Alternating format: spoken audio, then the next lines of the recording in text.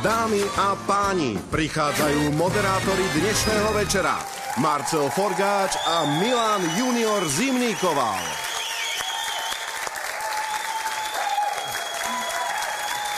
Dobrý večer. Dobrý večer. Fú, to bol. Silvester, no. To bol, kolegovi sa ešte grglo šampanské. Takže všetko je v poriadku, ešte si viacerí pamätáme, respektíve nepamätáme, čo sa odohralo na Silvestra. Šťastný a veselý nový rok vám želáme. Nech je pekný, zase sme o rok starší. No, navyše opäť zas e, z úvodu roka si budeme dávať predsazatia však. Niektorí si dali už na Silvestra, že napríklad ja som si na Silvestra dal predsazatie, že nechcem meškať. A zobudil som sa druhého. Ale si nemeškal, dobre. Keď sa to celé odohralo, bol si tu a my vieme, aký si, keď si vypieš, takže v podstate to bolo fajn. Lebo mali sme pokoj, my ostatní, na, na tej žúrke, vieš. Áno, áno, vždy mám problém so slovom rododendrón. Perlorodka a perlorodka, a to sú tri slova, ktoré používam len na Silvestra, neviem prečo. Lebo fungujú ako taký lakmusový papierik. E, Ja zase vždy sa pristihnem presne pri tom, že zase som o rok starší a viem, že keď človek starne, tak e, dejú sa mu dve základné veci. Prvá, že zabúda a druhá, že ešte, ešte čosi.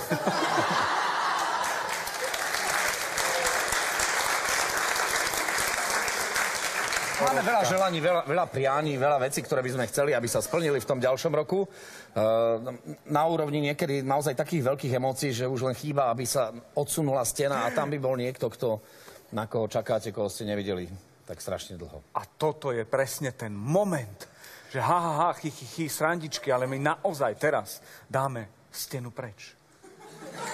Prichádzajú naši prví dvaja hostia. Katka Brichtová a poštár Ludvík. Ahoj, servus. Ahoj. Ahoj. Ľudvo, rád ťa vidím. Ahoj. Čau. Čaute. Vysoký, sympatický Ludvík Bagin. Uh, Vysoká, sympatická. Stále, vekom stále Pekný. neošľahaná Katka Brichtová, Ďakujem, úžasne ďakujem. vyzerajúci mladí ľudia. Uh, Ludvík, ty nemáš rád, keď, keď ťa volajú, a možno aj na ulici, alebo takto bežne ľudia v civile, že, že poštár. Ono je to pravda, ja som taký trochu nevrlý, keď eh, počujem poštár, poštár, poštár, už som počúval v nejakých pesničkách poštár, vždy sa proste otočím a som z toho taký, taký, taký myknutý. Ale raz dávno som nakrúcal, uh, nenak, áno, nakrúcal som študentský film, kde v Rači, prišiel som ráno do potraviny, išiel som nakupovať potraviny a tam bola taká pani pokladnička, ja som tam vyložil vodu a žuvačky a cukriky a rožok nejaký a proste všetko. Ona, že vy ste, vy ste a stále nevedela, že kto som, som zaplatil, povedala cenu, 19,90, zaplatil som ona, že ja viem, Katka Brichtová. No tak Katka, tebe niekto povedal, že si Ludvík? Musím Vy ste povedať, Ludvík Bagin. zatiaľ k takejto zámene ešte nedošlo, ale mne sa permanentne stáva už 11 rokov, keď niekde prídem, že no a kde ste nechali poštára? Kde ste nechali toho uh, uh, uh, uh, Ludviga? Takže to sa mi stáva permanentne a vždy hovorím, no on väčšinou chodí so mnou, ale teraz nemal čas, takže ostal doma. My sme sa teraz chceli vrátiť k tomu, o čom sme sa rozprávali. To znamená, že čo vy dvaja vlastne máte spoločné? A nesadneme si na to? Nie, nie, nie, dobre, dobre. nie, my vás pozývame pozrieť sa naše dokrutky, lebo Aha. s touto otázkou my sme vyrazili do ulic. Pocikáš sa v stoji. Bože, sa bojím. No ukážte to, ukážte to, ukážte to. Čo majú spoločné Katka Brichtová a Ludvík Bagin?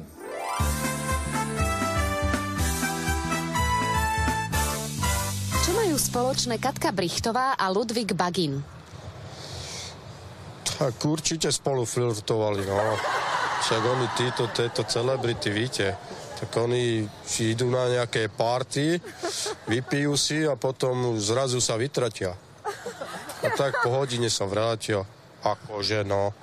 Čo robí Katka Brichtová a Ludvík Bagin? Čo boskávačky, jazyčkové, francúzov. Čím sa živia? Čím sa živia? Asi myslím, že týmto sexom na týchto pártach, čo chodia, víte. A on si chytí nejakú milionárku, ten pán, a tá slečna, alebo pani tiež nejakého čávenka. No a potom tie účty rastú, víte. Žiť. No a tým sa živia, no. Čo majú spoločné Katka Brichtová a Ludvík Bagin? Katka Brichtová, no to je, viem, viem, aj včera som ju pozeral.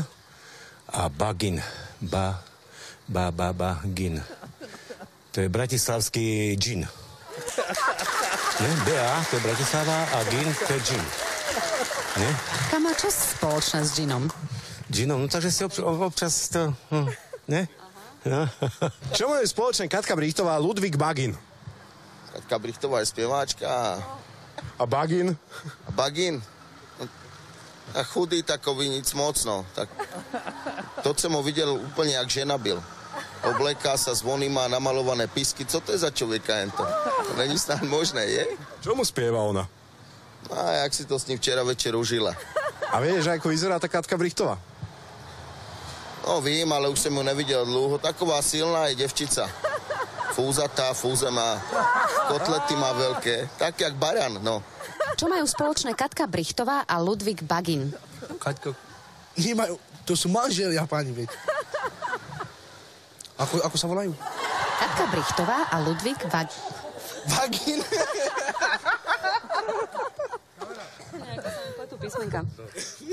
Čo majú spoločné Katka Brichtová a Ludvík Bagin? Ludvík Bagín. Môj mám, on bol ginekolog. Katka Brichtová je kto? Tá Katka Katka. bola, chor, bola chorá, lebo bola tehotná a išla toho, u toho vagína.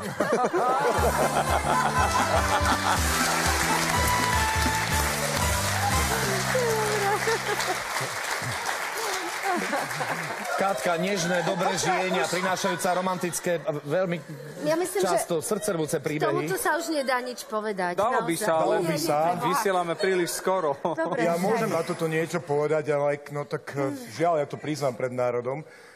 Uh, mne kto si vymyslel aj prezývku. Nie, nehovor to. Ja ju nepoviem. Je to v poriadku. Katka, tak ako?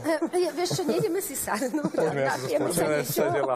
Nie, no, Konečne. pobavila som sa fantasticky. Vážne? No jasne, veď to bolo vtipné. Dobre, dobre, ja tešíme sa, že- za seba ako celkom aj to. Ale veď áno, veď my ťa poznáme, že je to úplne v poriadku. o vás takú anketu? Áno. Mohla by som sa pýtať? Ach, ja je, som... je. Pohode. Vy ste ich inštruovali, že čo majú hovoriť? Ja som, ja som... Grof? Grof, ale, ale predávam drogy. Sedel som.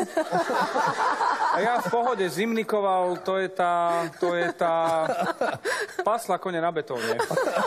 Milka Zimníková. Áno. No dobre, tak toto máme za sebou. No. No a podobne, v podobnom duchu. Toto je naša úvodná tzv. egosprcha. Áno. Nech sa Dnes páči, posaďte sa, milí naši hostia. Poďte, posaďte sa, nech sa páči.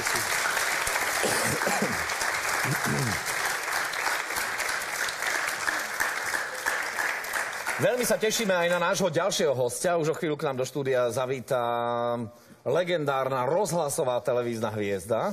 Je to tak, je to náš kamarát a je to človek, ktorý takisto veľmi veľa príbehov prežil. S vami, ktorí ste písali. Ahoj, bravo. Nie, nie. Nie, nie, nie, nie. Je, je to trochu inak. Je to človek, ktorý sa momentálne živí aj organizovaním naozaj veľmi úspešných hudobných festivalov. Človek, ktorý prelomil istým spôsobom ľady a, a vnímanie rozhlasového moderátora a priniesol veľa nového do tejto práce a inšpiroval viacerých. A my, My sa tešíme, že ho môžeme privítať. A myslím si, že keď poviem, že prichádza medzi nás, tak všetci pochopíte a viete, kto to je. Prichádza Julo Viršík! Tak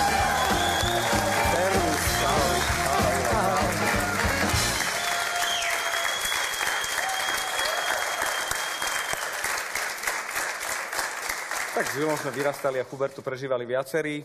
Ja len dúfam, že dnes bude opäť Julo mlčať.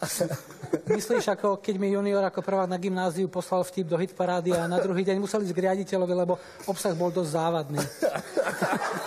A Julo samozrejme si nebral v žiadnom, žiadnym spôsobom servítku pred ústa. Aj, aj to bola tak, taký jeho jeden zo znakov, aj keď si myslím, že, že na takom zdravom leveli. A povedal samozrejme meno autora. Milan Zimnikoval z Michalovec nám napísal. Áno, a prvé, čo ma napadlo, že pre Boha, veď to nikto sa s takým menom nemôže normálne narodiť. To si musel vymyslieť.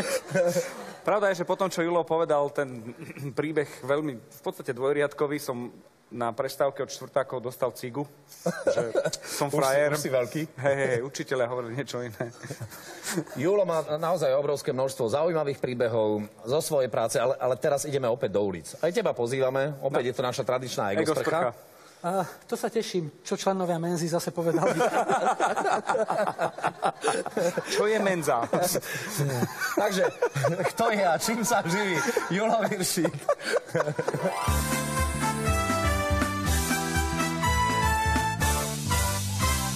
A čím je známy Julo Viršík? Veď to bol oný maliar. Maliar bol ako tomto. Niečo jak Picasso.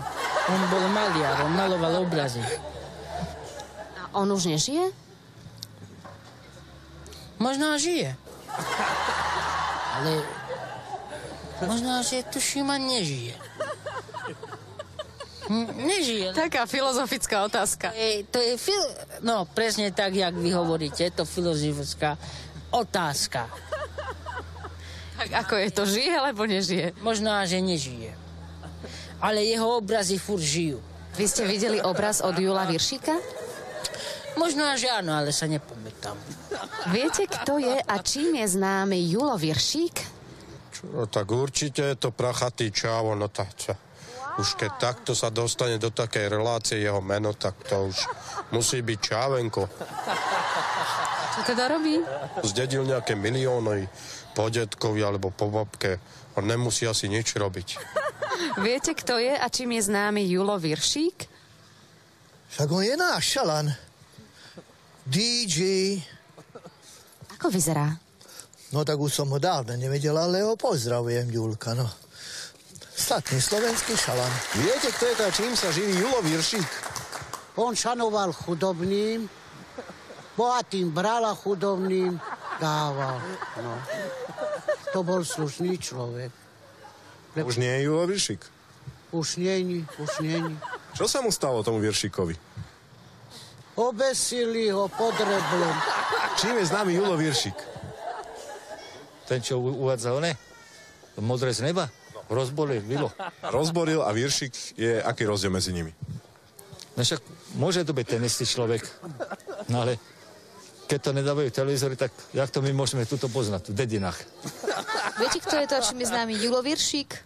Viršík, Juro Viršík, to, to mi nič nehovorí. Viršla to ešte ale Viršík nie. Kto je a čím je známy Julo Viršík? No však mne sa vidí, že on je moderátor. Není moderátor rádi, v rádii? Aký má hlas? No veľmi príjemný, keď je moderátor v rádii, tak určite veľmi príjemný teda. Aký hrubý, trošku taký, taký mužský, taký fajnový, taký... Aký hrubý? Sexy, ne? Nemôžem tak veľmi pred mojim mužom, ale myslím, že taký sexy hlas má ináč ako... Ste ho napodobniť. Tak to sa mi vôbec nemôže podariť.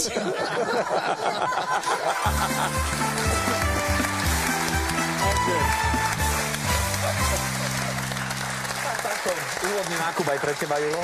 Super. Dávno som nič nenamaloval. A zdedil si tie milióny? Bodaj by. Hm. Tak predal jeden svoj obraz. Predal obraz, alebo teda keď bohatým bral, tak mu zvýšilo a chudobným dával. No tak ako žiješ v srdciach ľudu. Dozvedel som sa aj to, čo som nevedel.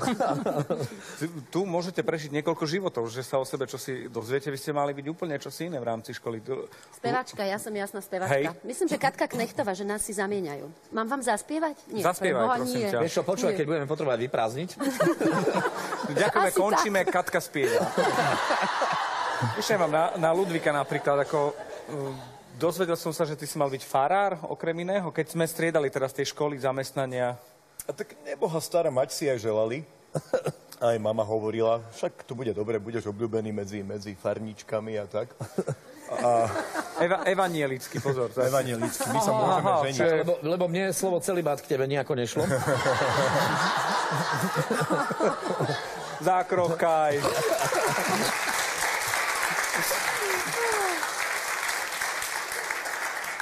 Celý áno, a nebát.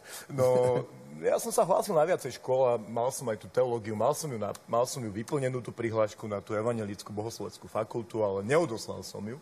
A potom som išiel do Bystrice študovať herectvo a nejako som prepadol bez nádejí a vydal som sa akože do sveta a išiel som do Dánska. Tam som išiel na takú školu, kde som bol viacej krát. No a na tej škole sme sa učili rôzne Učili sme sa dánčinu, čo je samo o sebe akože krkolomná reč a Tak Dáni... to je to tak trošku pre Slovana.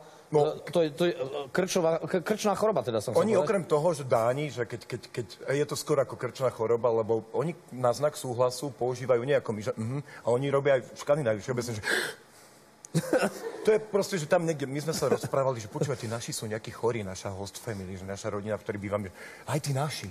Že čo sa deje? Že normálne my im niečo rozprávame, že sme z Bratislavy, zo Slovenskom.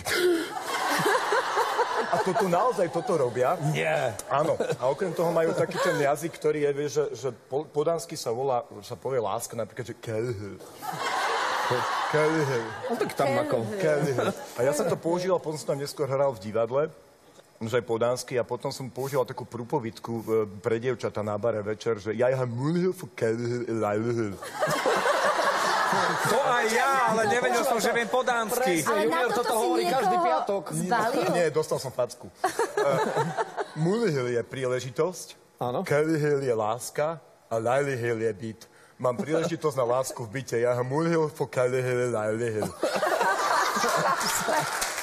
Nefungovalo. Tak skôr ako pôjdeme do ulic, ešte jedno priznanie. Ludvík nie je Ludvík. Akože nie je Ludvík. No však hovor, Dinom Dánom. No to bolo tiež v Dánsku, ja som bol v autobuse, mal som 14 rokov, tam som bol s kresťanským Stop, sekundu, táborom. koľko spolupracujete? Uh, 11 rokov uh, sme robili poštu a s Ludvíkom 4, ale poznám ho tš, Od 20 štyri. rokov alebo koľko. Áno. Dobre. Ludvíka poznám 20 rokov, povedala Katka. A čo to je, nejaký chytáčik? No nie, on sa volá inak. On, On je sa Lud- volá Ludvík Bagín Poštár, prezivka. Áno. E, počkaj, on sa Ludvík je... Nie, nevolá sa naozaj Ludvík. Uh, uh, Ludvík Bagin vzniklo tak, On vytiahne občiansky teraz, pozor.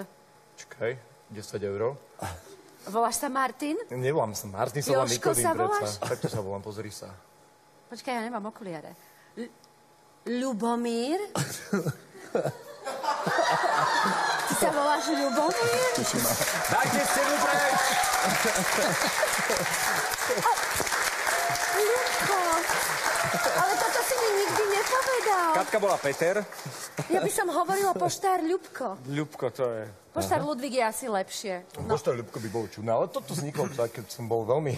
A ako môžem niekoho poznať tak dlho a on sa volá Ľubko? No vidíš? Dali sme stenu preč, všetko prebehlo, stále je šokovaná, pozri.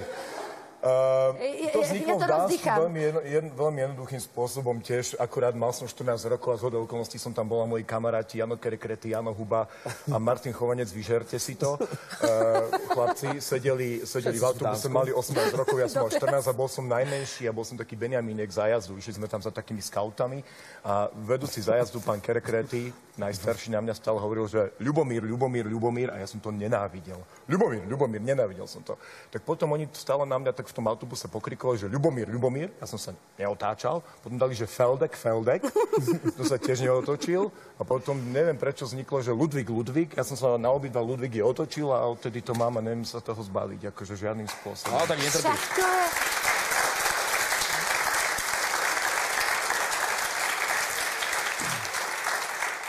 Veľké priznanie, to sa teším teda. Julo, tvoje pôvodné hovorí? meno? E, myslíš pred operáciou? Ja som tu jediná normálna? Čo toto je? Mami, mami, čo je to transexuál? Neviem, spýtaj sa u Jolanu.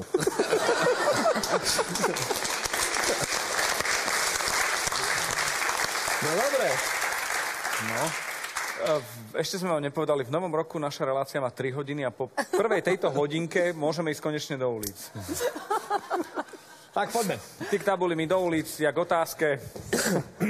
Uvedte príklad na jednostopové motorové vozidlo a dvojstopové motorové vozidlo a pýtali sme sa siedmých.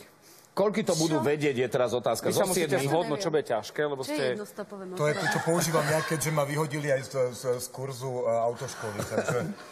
A, ako motorka? To bude bicykel, motorka tam, nie? Motorové si povedal. Motorové, motorové. Počúvajte, a viete, čo ja som si dala do nového roku? Aké predsavzatie? Aké? Že sa chcem ja- naučiť jazdiť na skútri. Sa ja Krásne, to je také tematicky prepojené. No, chceme sa Žena na naučiť... skutri je fajn.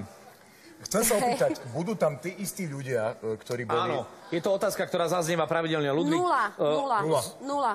OK. OK. Počkaj, nedáme jedna? Počkaj, Nie, nie, nie, nie, nula, už je, aha. tak dobre. Muž v klobúku pripravený? Už vyhrá. Julko, ty. E, ja si myslím, že dvojkou nič nepokazím. No nepokazíš. Sakra, toto prehráme. Tak, máme to pripravené. Aký poznáte aspoň jedno jednostopové, dvojstopové motorové vozidlo? Poznajú aj naše diváčky, pýta sa junior. Poďme na odpoveď. Motorka a auto. Je čo? Motorka je jednostopové a auto je Dvojstopové. Motorové vozidlo. Motorové vozidlo. Kompletná otázka a odpoveď. Perfektne.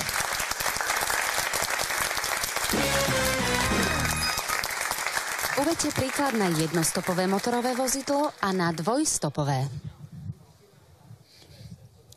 Stop znamená zo, zo, slova stop. Akrát zastavíte po ceste. Stop. Dvojstopový. Tam a späť. Tam a späť. Dvojstopový.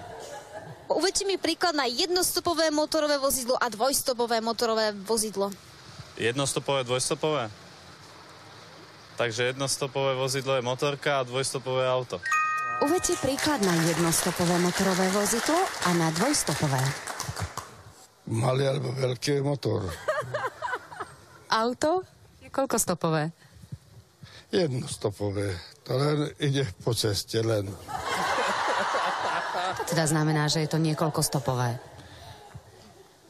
Že to je viac účinkové. Môže, môžete používať na zemi aj hore, aj v vzduchu. Letadlo? Dva, dva stopové. Čo to znamená, že je lietadlo dvojstopové? Ide aj na zem, aj odletí do vzduchu. Povedzte, príklad na jednostopé motorové vozidlo a na dvojstopé motorové vozidlo. Ale vykenák. Ja nevím, ľudé, počúvajte.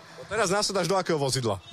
Ja, favorit Škoda Sedan z 87. Chlapi, nesklamalo, prvý majiteľ. Koľko stôp má?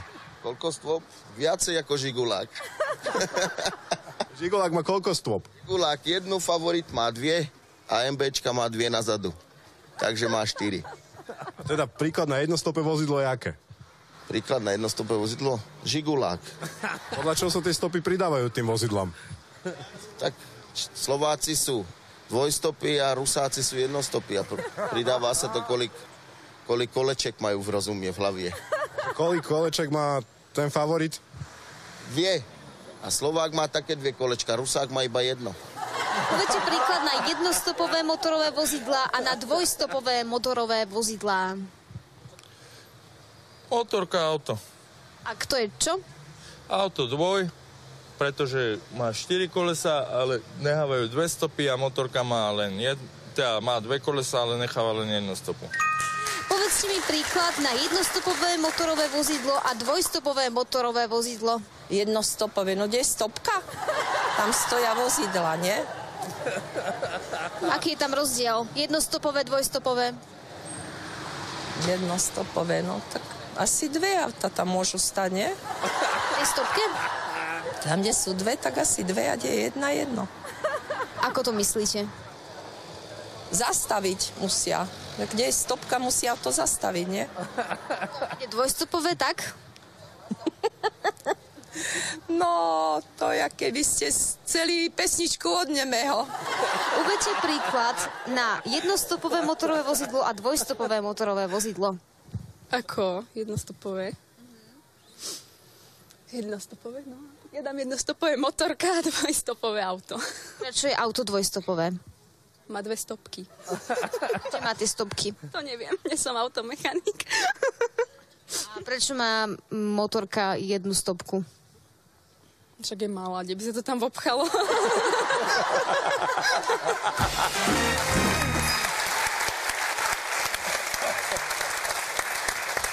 Pošta pre teba neúspela v prvom kole, naopak Julo Viršík vyhráva. 1-0.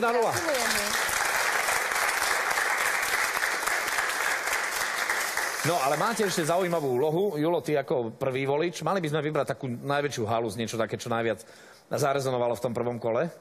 Ja by som možno toho pána, ktorý bol nejaký tretí v poradí. Mám taký pocit. Nevidíme problém, je to zaradené v našej hitparáde. Kompletná petica na záver po skončení všetkých kôl. Ďakujeme pekne, môžeme ísť ďalej. Ak na buku rastú bukvice, čo rastie na dube? Neverili. Bukvice rastú na bukoch. A čo si myslel, že rastie na buku? U 8 sme sa pýtali. A začínate, pošta začína. Ah, my už budeme na veky pošta. Sme na veľký Ľubomír. počta, No. No. Ľubomír, čo Ľubomír. povieš, Katarína? Ja ti neviem, Ľubko. Zvýšime rating? Ja, vieš čo, bola som dosť, dosť zle som to typla v prvom kole, No, tak skús teraz ty. Ja dám extrém. Nie, no, No nedám 10 v 8. A... dva, 3, 4? dva. Dva už je na hranici extrému. Vy viete správne odpovedať? Samozrejme, Ja že som nie. sa vždycky, keď som pozeral túto, túto reláciu, vždy som sa čudoval, že čo tam Pako dáva tú štvorku, však to nikto neuhádne. A teraz som sám navrhol, že 4 dáme 3. No, Dva. tak, no dva alebo tri. Dva? 2,5 nemôžeme dať? 2,5. A taká polovičatá Rád odpoveď. odpovedám, môžete, ale v inej relácii. Dobre, tak, tak rozhodni ty, si chlap, Ľubko. My sme dvaja, Ľubko a Katka. Dáme dvojku. Ľubko a Katka. Toto by ťa Dobre, za napadlo? dva. Julo, tebe neostalo príliš veľa možností? Mne sa zdá, že v tejto otázke je ukrytá aj odpoveď. Šikovní ju tam určite nájdú, možno budú traja. Traja? Tak skúsme. Uvidíme. Zase nás stropne. Mhm, nevadí. No, som zvedavý, ako to dopadne. Dievčatá už tu opakujú svoje obľúbené slovo. Junior, ako to je? Potrebuješ zopakovať otázku, alebo... Nie. Dobre, hovor. Pani doktorka. Žalúden. Výborne. Bravo.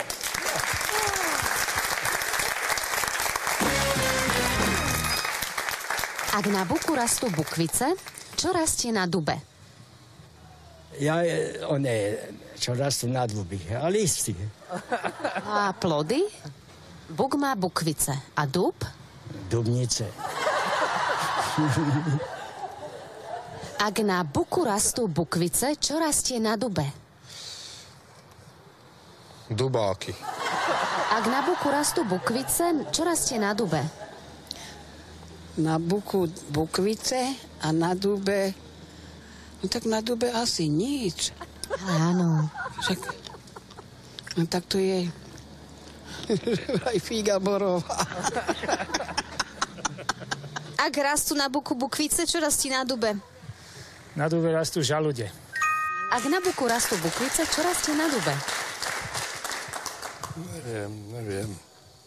Neviem. Dub ste už videli. No, videl som práve. Čo bolo na tom dube? Klobúk.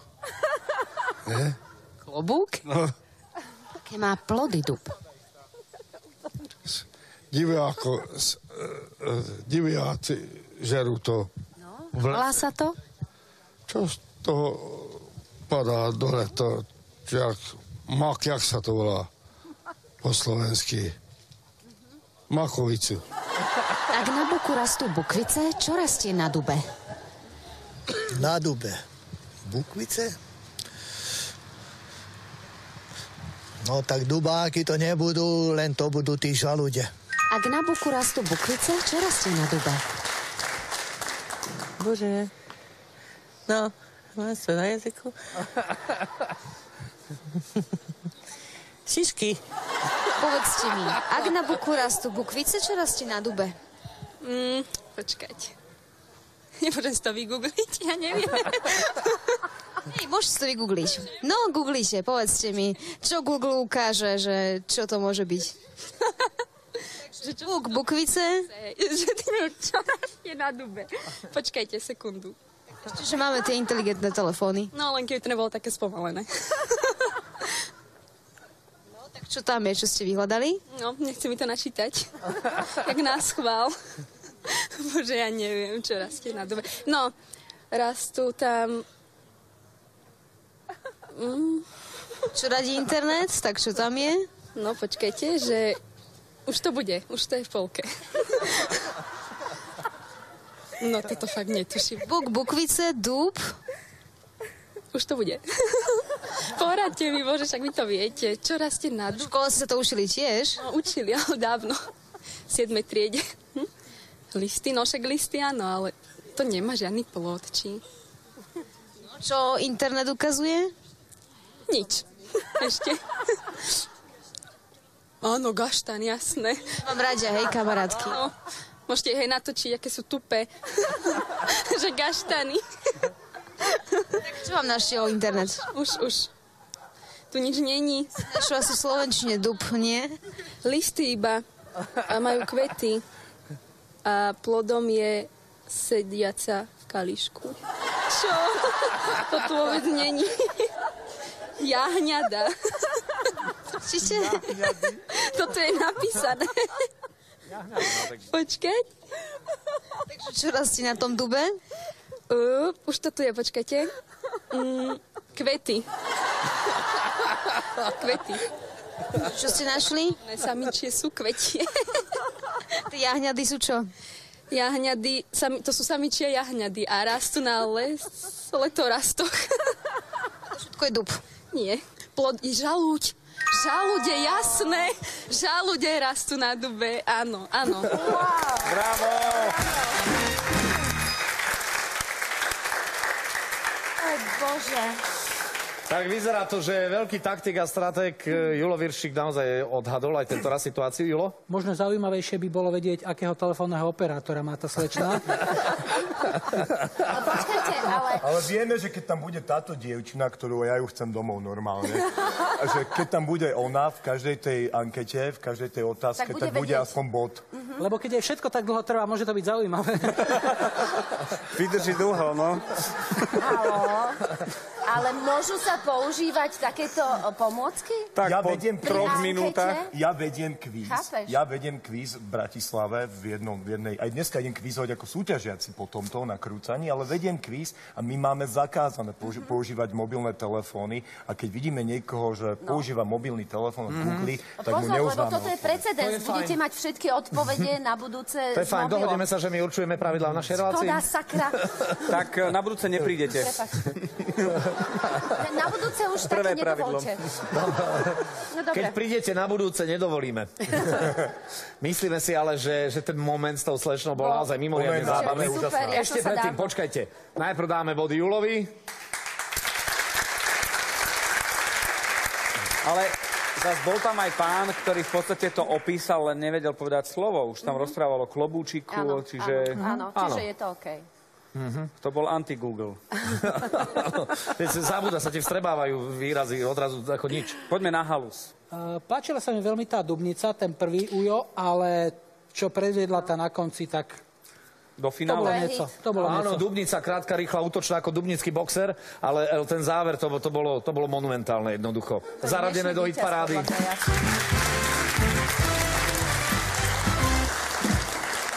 Bola veľmi milá, sympatická, ešte aj odhalila ako... To, A povedala detaily o tých súkvetiach. všetko Áno, sa jahňady sme sa dozvedeli. No, kde by sme to zistili? Kde už, v ktorej relácii prídeš k jahňadám? Ja, ale ja som sa ne... Kedy si počula naposledy slovo jahňady? Ale hlavne ja som sa dávno takto nepobavila, ako keď ona rozprávala, bolo to super. Tak u nás je veselšie ako u vás, no. My si aj poplačeme občas, je to pravda. A my si Ale zároveň, sa... my, na, zároveň ako, že tvar nášho interiéru je daný pevne, vieš. My neodsúvame steny. Ale musím ti povedať, že už ani my neodsúvame steny. Nie. O, a- ako si možno aj diváci všimli, už od januára v novom roku neodsúvame steny. To lebo už- viem. Ale my chodíme za ľuďmi do ich domácností. A staviate im stenu. Nestaviame práve naopak. Kapka Zobereme dáva ich... tie íporky. Ja som myslel, že či to nie je také niečo ako že nečakané stretnutie, že treba žena stojí na Karovom moste, príde zo sadu chlapík, natlačí sa na ňu a ona sa pýta, co deláte? A on, že soustružníka v čejkáde. Blízke.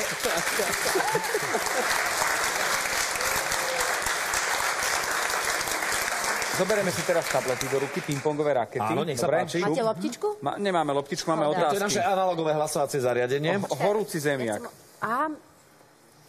Vždy zaznie nejaký výrok. Aha. A budete sa točí? Teda ukazovať, že, či áno alebo nie. Nie je to žiadna súťaž, neudelujeme za to body, je to, je to len také, taký medzistupeň k tomu, aby sme sa dostali k vašim príbehom. A budeme sa pýtať na Katku a Ľubomíra. A, a, je pravda, že Ludviga zadržala policia za vlámanie? To znie veľmi dobre. Ale Áno. tak Ludvík je taký, ho vyhodili aj z policie. Myslím z basy. Uh, nebolo to úplne tak, že by ma zadržala policia. Vlastne tam ani policia nebola, ale... No, začne ako... Nečudoval by som sa, keby prišla. Ja som bol v Piešťanoch uh, aj tento rok, teda ten minulý rok, aj ten predminulý moderovať uh, takú, taký ten festival, ktorý tam je, ten taký ten veľký hudobný festival známy. Áno. Teda moderoval som tam jeden stage a už som tak bol domoderovaný večer, že som moderoval pre takého pivného operátora a teda veľa pí, veľa rozumu. A ja som bol už teraz ako več, večer, ja tomu hovorím v požehnanom stave naozaj, lebo kopec kamarátov som postretával a tešil, uh-huh. tešili sme Somárik na teba dýchal. Áno. A už bolo teda na čase ísť, ísť, ísť e, e, na našu ubikáciu, kde som išiel teda s hosteskami plus nejakými chalami z technického departmentu. A že teda ideme teda na tú chatu. Chata sa volá Zuzana a môj šéf Xom, musím povedať, e, tak ten, ten sa išiel odlifrovať niekam do hotela, že vy choďte všetci na chatu, choďte všetci na chatu, tak ja som išiel na tú chatu, išli sme s autom, ja som tam vzadu už tak bol v pololežbom stave a aj som spieval pesničky cestou a prišli sme na chatu, ktorá sa volala Zuzana. Tam nad Piešťanmi je taká chatkárska oblasť. Mala sa volať Zuzana a babi sa nevedeli do tej chatky dostať, do, do, do bráničky, tak ja som prišiel, že ja vám skúsim trošku pomôcť. Ja som zobral, že nie to otvoriť. Tak som preskočil bráničku, neviem ako, preskočil som svížne bráničku a že skúsim, že či funguje, ja som vytvorniť kľúč. V dánštine. Vúcko. A som prišiel k chatke, prišiel som k tej chatke, tam som sa snažil trafiť tým kľúčom do zámku, nešlo to. A, a zrazu, akože už som bol teda tak na odchode, ne, nefunguje to. Tak som išiel späť, ale tam bol taký svážik. E, Ja som sa dostal svahom dolu, ale hore k braničke som sa už dostať nevedel a stále som sa šmíkal. A, lebo bolo pršalo. A nie si 4x4, no. A zrazu sa okolo chatky, zrazu sa okolo chatky rozsvietilo, vyšiel že dobrý deň, čo tu chcete? Dobrý deň, Ludvík Bagin, pošta pre teba. Nám robíš hanbu, Ludvík. Už vieme, prečo nerobí. A on mi na to, že to je síce všetko fajn, ale tak čo tu robíte? Je tu chata Zuzana. že tuto nie je chata Zuzana, že tá je asi o 200 metrov vyššie, že tam hore doprava rovno, tam pôjdete, že e, ďakujem. No tak choďte. Nemôžem, musíte mi otvoriť bráničku. Otvoril mi bráničku a keď mi otváral bráničku, tak som povedal, že tak na budúce aj s obálkou.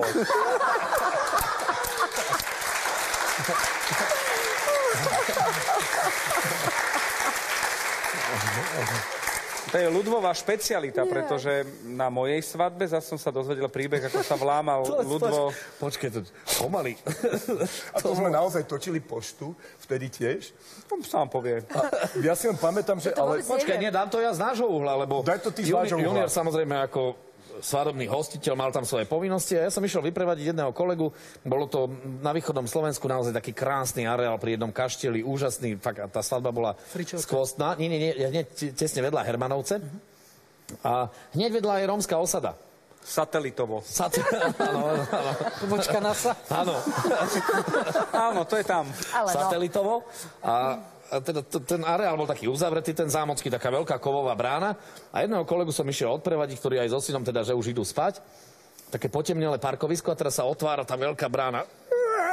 A, a taká kučeravá hlava, čierny e, občan už sa tam tlačí a, a kolega na ňo kričí, ideš preč, cigánisko jeden, tu je uzavretá spoločnosť. A spoza brány, to som ja, Ludvík Bagin.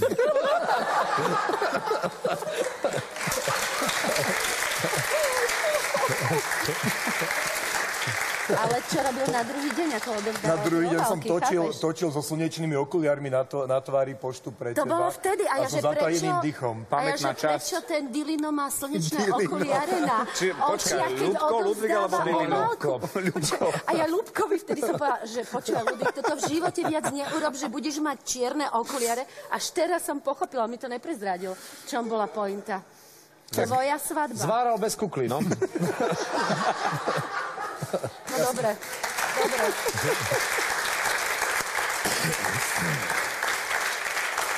Dobre, máme ešte jednu otázku v zálohe, alebo môžem ísť k tabuli? Už, už A my naozaj do ulic, túžim. áno, áno, áno. Už mám pocit, že, že mi aj tak trošku chýba tá tabula.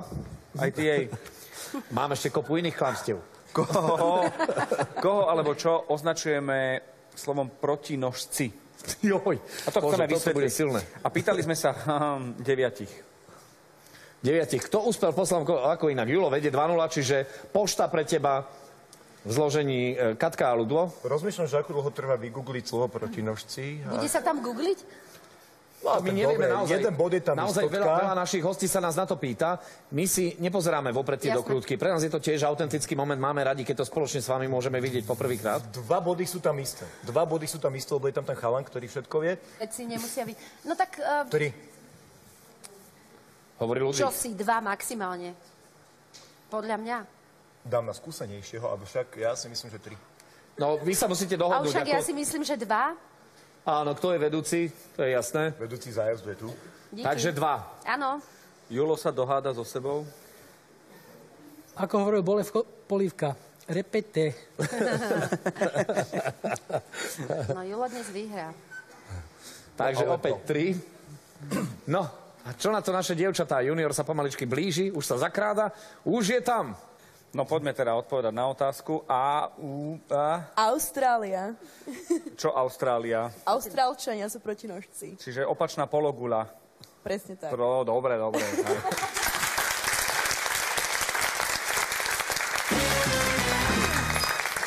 Vieš vysvetliť, koho alebo čo zvykneme označovať názvom protinožci?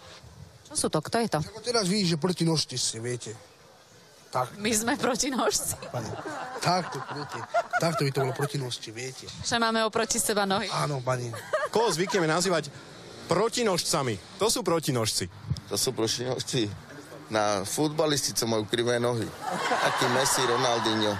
A ešte, treba co ja vím, Maradona byl taký protinožec. Viete vysvetliť, koho a čo zvykneme označovať názvom protinožci? Tak, aby som povedal raz za čas a spomenul správnu odpoveď Austrálčany. Klokany. Čo protinožci? Pretože sú na opačnej strane Zemegule. Vieš vysvetliť, koho alebo čo zvykneme označovať názvom protinožci? Že keď niečo robíme naopak, alebo také niečo, tak asi to. No, keď si dám naopak nohavičky. No tak ste protinožkyňa, protinožec. No tak, alebo ja neviem, keď si dám naopak to oblečenie, alebo také niečo, alebo keď šoferujem na, druhom, na druhej strane, tak som protinožec. Viete vysvetliť, koho alebo čo zvykneme označovať názvom protinožci? Majú ináč nožička asi ako ostatné zvieratka. Ako ináč ich majú? Neviem, tak donútra. Koľko majú nôh protinožci? Jedno. Jednu nohu? Jednu nohu. Jednu nohu dovnútra. No, Ako na nej chodia? že ukážem vám, že budú skákať.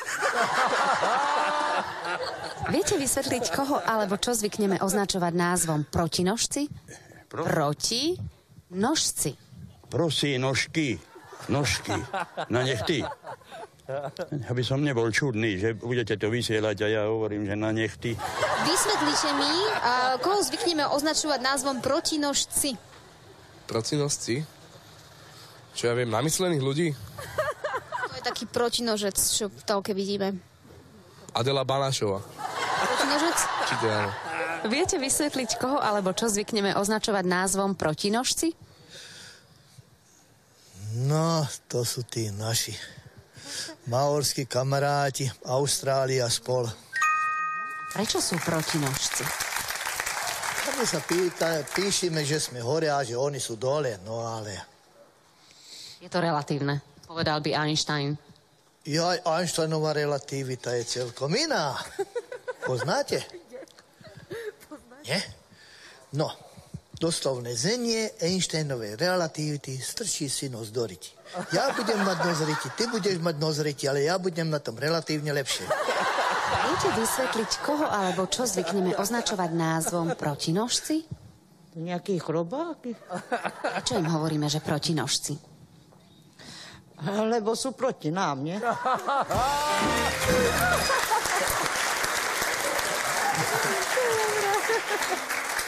No vidíte, tak ste sa báli. Pošta pre teba, Katka, Ludvík, Tešíme zabudovali sa. ste. Áno, hurá, konečne. Poprvýkrát ste dokázali poraziť Jula Viršika. Yes. Získavate bod. Bolo to tesné, ale je to pod strechou, ako sa hovorí. Áno. Mali by sme ešte pokračovať. Halúzov, vyberte halúz najväčšiu. Á, jedna bola celkom dobrá, tie nohavičky boli celkom dobré, aj tá teta, čo skákala, bola dobrá, ale asi ten pán s tou teóriou relativity. Hej. Čo? A mne sa akože v- veľmi páčil ten, ten, ten prvý, že to tak akože celé to zinscenoval, že teda, ale súhlasím s Katkou, to je... Som videl- možnosti povedala. Môžete, Vyber, konzultujte v vyber. pohode, vyberte si nakoniec jednu. Ja súhlasím, že ten Ujo na konci si to zaslúži. no. Šalán do finále. Nech sa páči. Vybavené. Náš zákazník, náš pán.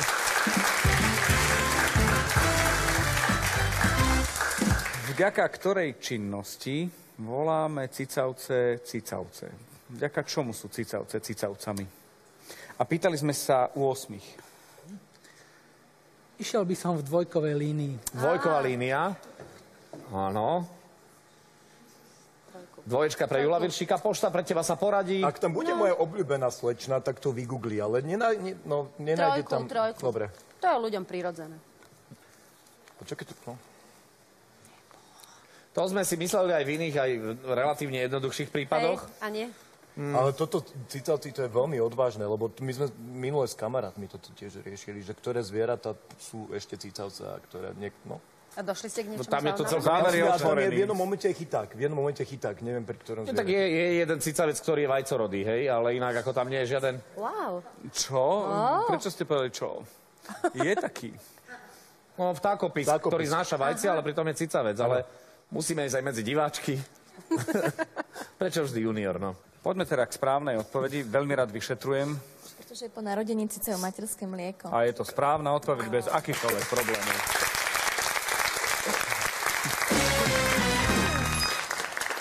Viete, vďaka ktorej činnosti nazývame cicavce cicavcami? Ty? Cicavcami? Cicavci? Cicavci, cica- cicavci. Súňok, komáre, to sú ci- cicavci, ktorí cicajú e, krv. A vy ste cicavec? Ja som cicavec piva, cicavec vína. A to není cicavec. Vďaka ktorej činnosti nazývame cicavce cicavcami? Cicavec to sa plasí po zemi, po zemi, nie? To, to sú také, jak haďané, hadi a také niečo podobné, také sú. Ako, A je človek cicavec? nie, nie, nie, nie. Vy nie ste cicavec? Nie. A čo ste? Ja, ja tak, ako obyčajná žena. Vďaka ktorej činnosti nazývame cicavce cicavcami? Však tí, ktorí pijú, cicajú a takéto. Napríklad, keď sa narodí bábetko a začne cicať toto, mliečko. Vďaka ktorej činnosti nazývame cicavce cicavcami? Neviem, to je mačka. Mačka. Čo je mačka cicavec? A cica, čak to, to je po cigánsky. Cica. Ste cicavec? Vy?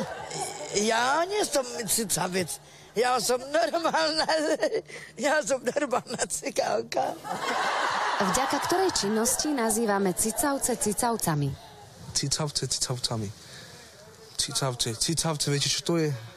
To sú netopiere. Lebo cicajú kriv. Aké, vďaka akej činnosti nazývame cicavce cicavcami? Tak lebo sa furt cickajú. To je cicavec na svete. Holičania, holičania sú cicavci ako občaniaci. To sú zas ožralci. Ty si čo? Ja, ja som fazulár ze Skalice. Ty nie si cicavec? Ne, ne, ja nejsem cicavec, ja som z toho vajíčka. Vyláhli. Vďaka ktorej činnosti nazývame cicavce cicavcami? No lebo cucajú. Sajú, cucajú. Čo? Mlieko, no. Mamičke. Vďaka ktorej činnosti nazývame cicavce cicavcami? Ha, lebo buď sajú krv, alebo toto, alebo hento. A vy alebo ja môžeme byť cicavce? A keby ste bola Drakula, tak áno.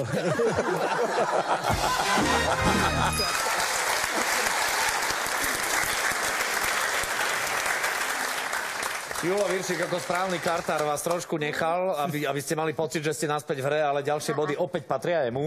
Pošta pre teba. Zložení Katka a Ludvík. V tomto kole krásne druhé miesto. No nádherné, tešíme sa. A ideme na najväčšiu halus, tam to bolo zaujímavé, aj Cica ako doma. Cica ako Ja mám polovicu srdca na záhorí, mám tam chalupu, takže tí fazulári a... A Cica rána. Fazulárov by sme dali asi aj my. Hej. Dobre, je to dohodnuté definitívne.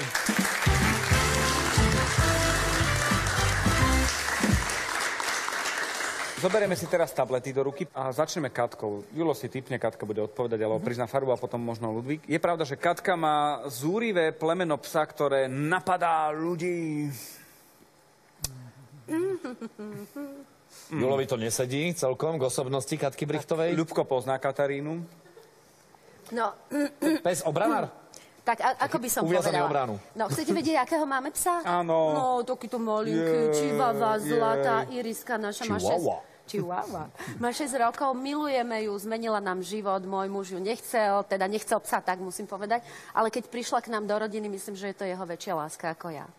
Je to v podstate taký pes, akože obranár, nie? Čivava. Keď ju roztočíš na vodítku. Ty nemáš psa však? Mal som. Tak to by si nehovoril, Ale keby si mal doma ťa, psíka. to sú len reči. Posl- Posledne sa takto rozčulovala Eňa Vacvalová, keď sme jej no. hovorili No hrozne. čínske príslovie. Pes, ktorý šteká, je nedovarený. Bolo to klasické psoté. Psoté, áno. Nie, nie, nie, štekaná to bola. Mám- Nie, nie, To nie, nie. Bola to štekaná. Ja mám Tri obľúbené jedlá. predstavivosť, mohli by sme prejsť na inú tému. Soté, štekaná A Habsburger. Habsburger, no. Strašne. Naša Iriska. No, dobre. To sú Tak tie to by sme príbehy, mali. kedy sa lesy už nevráti. Ja som mal psa inak, keď sme boli ešte mm, deti a to bol taký ten pes, ktorý hoci čo urobíš, tak sa vyvalí na zadné. A vyhrával som také stávky, lebo vždy som prišiel s kamarátmi a povedal som, že uvidíš, že poviem môjmu psovi, že Šarinka, ukáž, ako robia paničky vo Viedni. Neverím. Daj 10 korún. Šarinka, ako robia panič- paničky vo Viedni.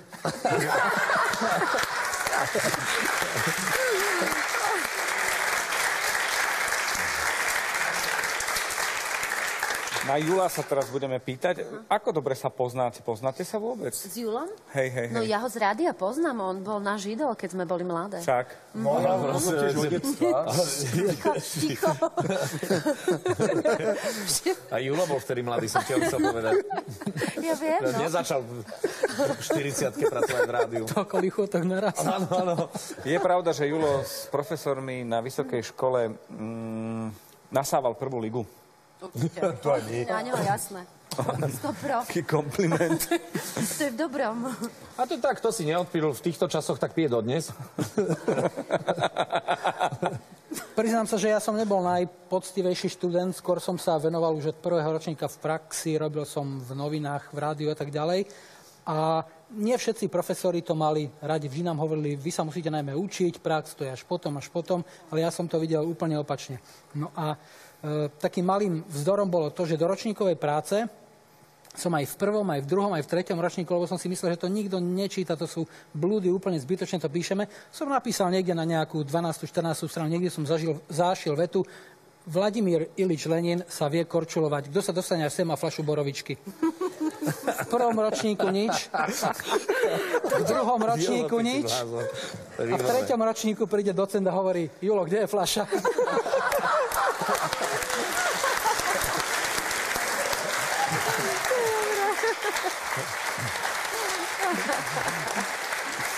Ešte mám otázku na Jula, ktorá sa týka opäť pravda, alebo nie je to pravda, že uh, Julo odmietol podať ruku svojmu hokejovému idolu?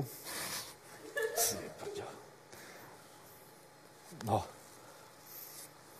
Fakt? A toto chceme počuť. A prečo si to urobil? Ten dátum si pamätám naprosto presne. 1. september roku 1996 v Otave v Kanade v hale Coral Center bol svetový pohár a Slovensko hralo s Kanadou. Boli sme tam vtedy na zájazde a zápas skončil. Kanada vyhrala vtedy po ťažkom, ťažkom boji 3-2. A mm, ja som robil pre rádio nejaké veci, takže po zápase som išiel do šatní, robil som tam rozhovory a potom som išiel na záchod. Tak na záchode, stojím, robím si svoje. Pískaš si. A príde Wayne Gretzky. Oh. Wayne Gretzky, hokejová legenda, The great idol, one. Yes. grade one, hokejista nad hokejistou. Človek by chcel niečo, hlavou mu prebiehajú všetky tie myšlienky, že viem, kto má prvý nastúpiť do výťahu, kto má ísť prvý po schodoch, kto má, dáva komu prednosť, ale nikde som sa nedozvedel, že ako je to na záchode, keď máte iba jednu ruku voľnú, treba, že čo sa s tým a kto koho pozdraví a tak ďalej. Sa mi to zdalo blbé. Človek si hovorí, postoj, chvíľa si krásna. No. Vane povestný svojou rýchlosťou rýchlo skončil, odišiel a bolo vybavené. A v tejto súvislosti tým s Belmondom, ako prišiel Belmondo na Slovensko a išiel tiež na nejaké mestské záchody a príde odtiaľ celý mokrý a pýtajú sa, že čo sa stalo? A hovorí, že ale prišiel som tam, boli tam nejakí štyria chlapi, tak som sa postavil do radu a oni všetci, aha, Belmondo!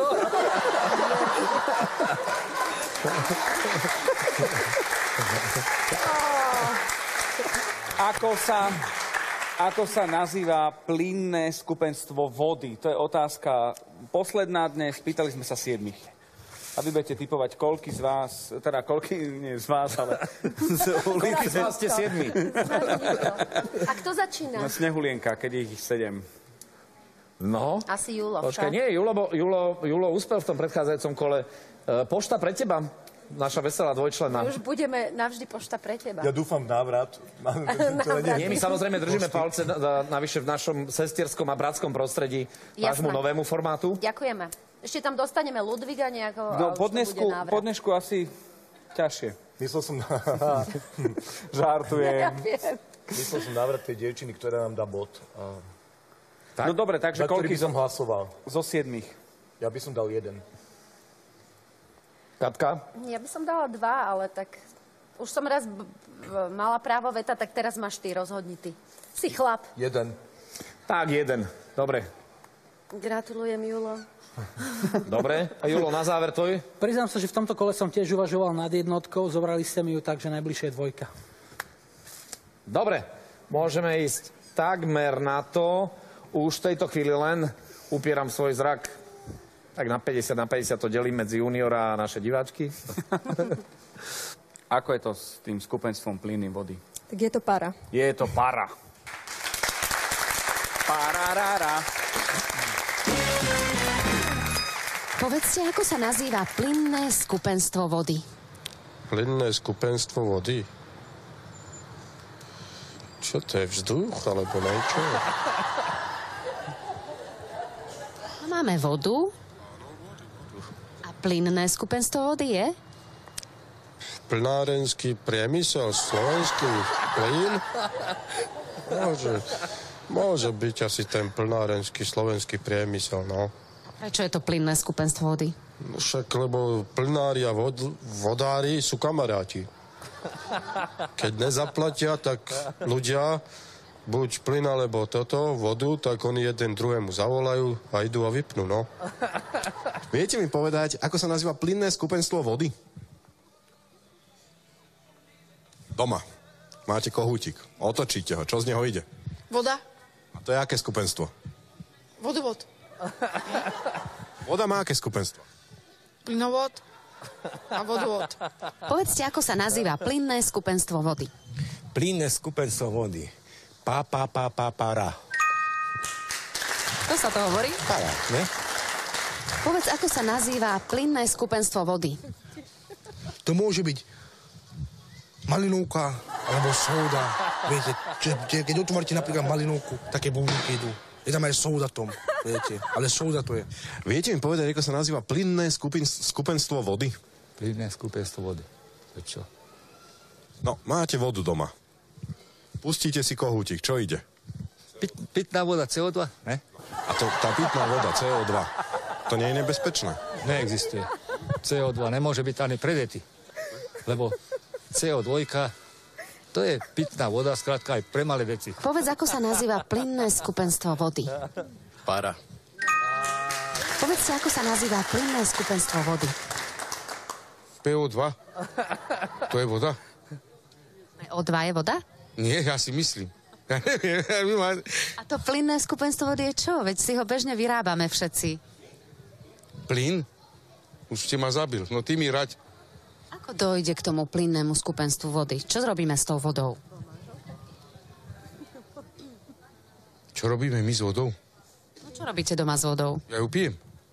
však, však, však pýtam vám odpoveď, dám otvorenie. No vypijem o to. A potom ako z nej vznikne plynné skupenstvo? Ty raz niečo poviem, no to vy to musíte... Tak to vyčurám, ne?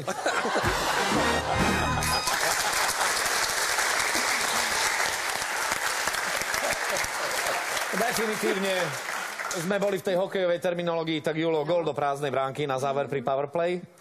A znamená to celkom jednoznačne víťazstvo práve Jula Veršíka.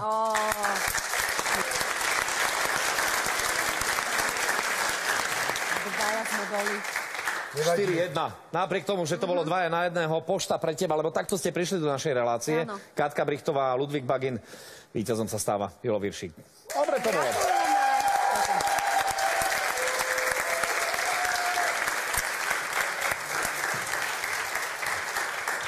Čo budeme potrebovať? Ešte jednu halus do hitparády. Julo.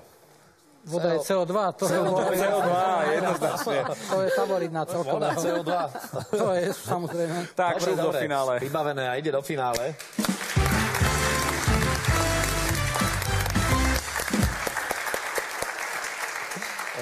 Táto CO2 to bol vlastne posledný nominant. Už o chvíľku sa pozrieme na kompletnú celú hitparádu najväčších halúzí dnešného vydania relácie. Nikto nie je dokonalý, ale ešte predtým máme darčeky pre našich hostí. Pre víťaza, pre Júla tu máme takéto tričko. Nie som starý, som len recyklovaný tínedžer. V podstate to sedí. Úplne to sedí. V podstate to sedí. Ďakujem. A tu máme slzy, ktoré sme preplakali pri pošte pre teba.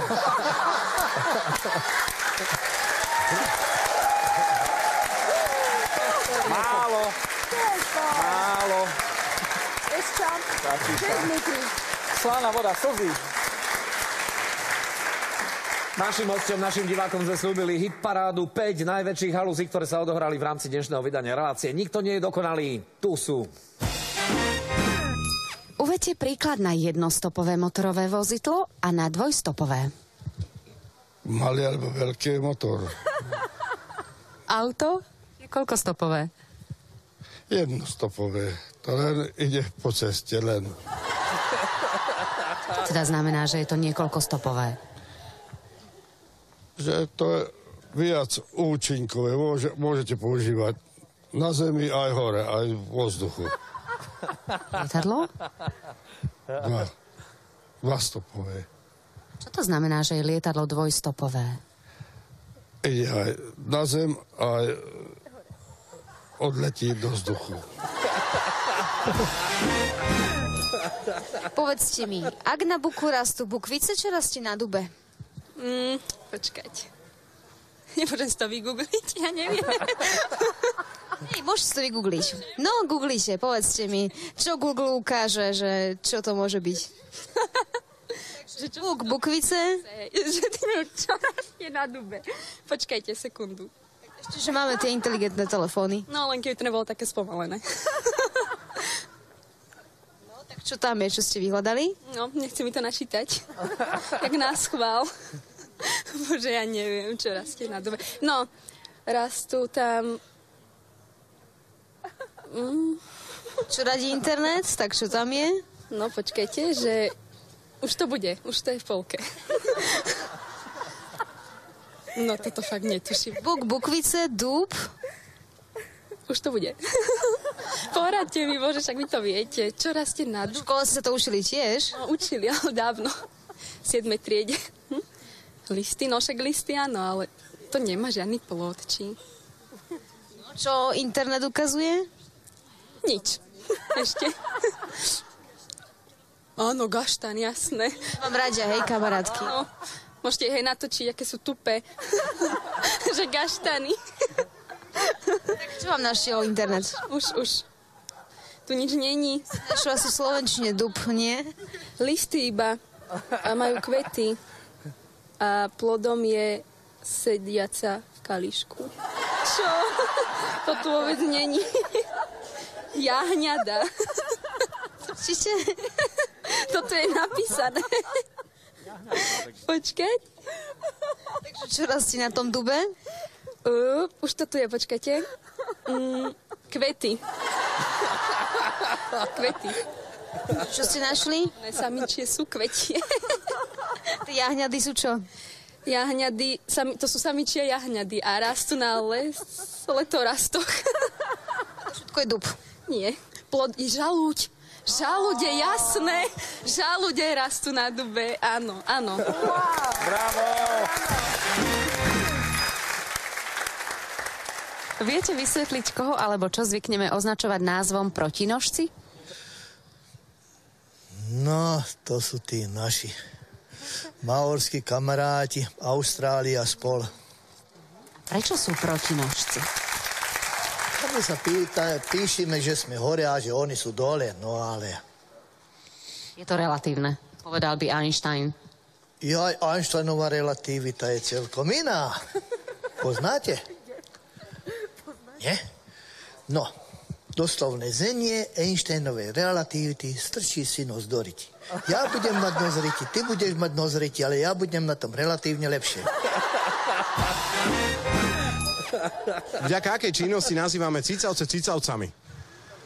Tak lebo sa furt cickajú. To je cicavec na svete. Holičania, holičania sú cicavci ako občaniaci. To sú zas ožralci. Ty si čo? Ja, ja som fazulár ze Skalice. Ty nie si cicavec? Ne, ne, ja nejsem cicavec. Ja som z toho vajíčka. Vyláhli. Viete mi povedať, ako sa nazýva plynné skupin, skupenstvo vody? Plynné skupenstvo vody. Prečo? No, máte vodu doma. Pustíte si kohútik, čo ide? Pit, pitná voda CO2? Ne?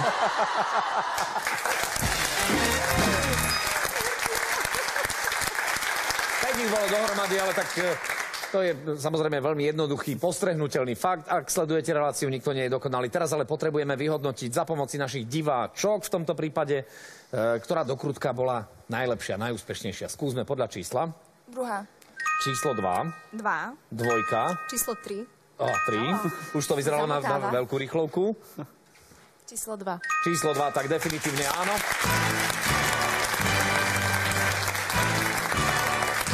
Bravo! Mladú dámu pozdravujeme. Jednak oceňujeme, že sa dokázala vynájsť, bola veľmi vtipná, bolo to veľmi šarmantné.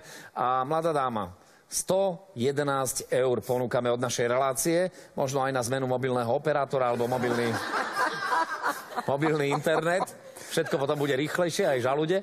Takže treba kontaktovať našu reláciu. Aktuálne na televíznej obrazovke je vidieť naše kontakty, takže nech sa páči. Prihlás sa, prosím ťa pekne. Blahoželáme.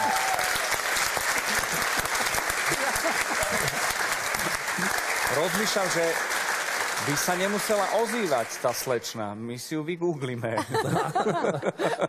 Držím palce. tak výsledok bol.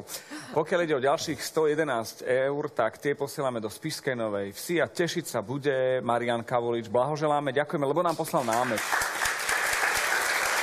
Vy môžete pokojne robiť to isté, pošlite nám námet na otázku. E, Ja viem, vyzývam vás napriek tomu, že tak robíte veľmi intenzívne, na každého z vás sa nemôže dostať, niektorí už piatýkrát píšete a moja otázka nebola. No, e, naozaj, vás je pomerne veľa, ale ďakujeme za každú iniciatívu, ktorú vyvíjate smerom k našej relácii a my sa tešíme, že môžeme a máme šancu pozvať e, takých skvelých hostí, akých sme mali dnes. Poštu pre teba reprezentovala dvojica Katka Brichtová a Ludvík Bagín. Ďakujem A Našim legenda. ďalším hostom. Julo Viršik, ďakujeme veľmi pekne. Ďakujeme za návštevu. Ďakujeme.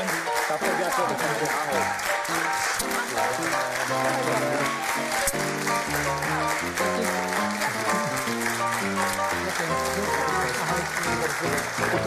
Vám, milí naši diváci, ďakujeme opäť za pozornosť, tešíme sa z vašej vernosti, robíme všetko preto, aby sme vás pobavili.